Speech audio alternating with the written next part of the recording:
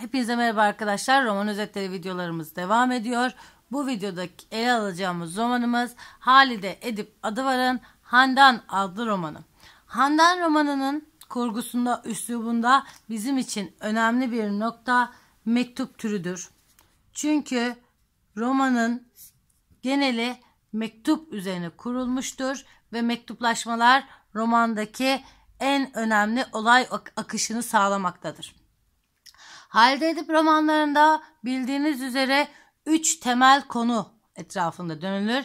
Birincisi kadın psikolojisi, ikincisi işgal yıllarında ve kurtuluş mücadelesi yani milli mücadele Kuvayi Milliye dönemlerinde Türkiye yani Osmanlı ve üçüncüsü sosyal gözleme ve toplumun yaşamına dayalı romanlar.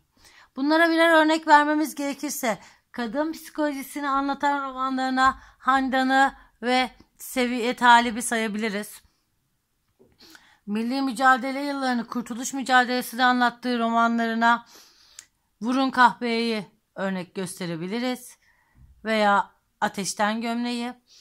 Sosyal hayatı anlatan, sosyal gözleme dayalı olan romanlarının da en önemlisi daha önce bir videomuzda zaten özetini size verdiğim Sinekli Bakkal adlı roman örnek gösterilebilir. Şimdi gelelim Handan'a. Handan adlı romanda Handan genç, aklı başında toplumun e, durumu, ülkenin gidişatı hakkında kafa yoran iyi eğitimli bir kızımızdır. Daha önce kendisiyle evlenmek isteyen başka bir takım kişiler olmuş olsa da bunların kendileriyle e, yeteri derecede ilgili olduklarını düşünmediği için reddeder ve Hüsnü Paşa ile evlenir. Hüsnü Paşa ile evlenip yurt dışına giden Handan evlendikten sonra e, evliliğinden çok da umduğunu bulamaz. Çünkü Hüsnü Paşa ile birbirlerine çok da uygun olmadıklarını, Hüsnü, Hüsnü Paşa'nın tavır ve düşünce bakımından kendisinden çok farklı olduğunu görür. Kendi idealleri ve e, siyasi bakış açısı Hüsnü Paşa'da yoktur.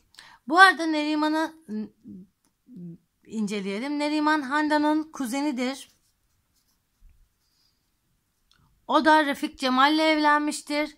Refik Cemal ve Neriman'ın evlilikleri iyi yolunda gitmektedir.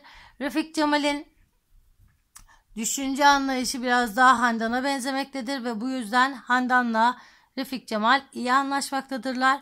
Ancak Neriman yurt dışı e, Neriman ve Refik Cemal Osmanlı'da yani yurtta Handan ise yurt dışında olduğu için e, iletişimleri mektuplarla sağlanmaktadır.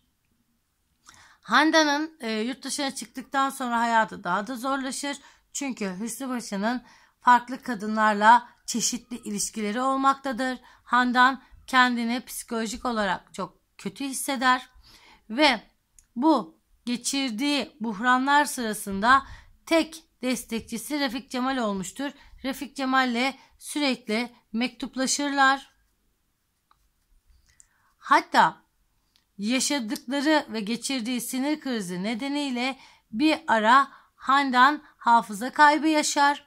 Bu hafıza kaybında bu hafıza kaybı Refik Cemal ile gittikleri bir İtalya gezisi sırasında geçer ve Handan Refik Cemal'e karşı yoğun hisler beslediğini fark eder.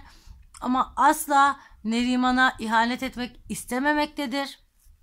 Ve e, Refik Cemal'e olan aşkı ve Neriman'a olan e, bağlılığı arasında kalan Handan iyice sinir sistemini harap etmiştir ve romanın sonunda asla Neriman'a ihanet etmemiş olan Handan Refik Cemal'e olan aşkını içinde tutmuş bir şekilde hayatını bir anlamda feda etmiştir. Evet romanımızda bir kadının aşkı ile aile duygusu, arkadaşlık duygusu, sadakat duygusu arasında gidip gelmelerini ve bu dönemde yaşadığı psikolojik buhranlarını görüyoruz. Dediğim gibi psikoloji bakımından özellikle kadın psikolojisi bakımından önemli olan romanımızda mektup türü bakımından da oldukça değerli konumlar, noktalar vardır. Daha önce de söylediğim gibi mektuplaşma, mektuplarla oluşturulmuş bir kurgu bu romana hakimdir. İyi çalışmalar.